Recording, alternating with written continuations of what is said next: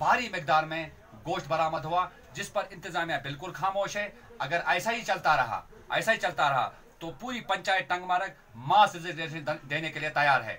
हम फिर गौर इंतज़ाम से अपील करते हैं कि इस पर ज़बरदस्त कार्रवाई करके आवाम को मुश्किल से दो चार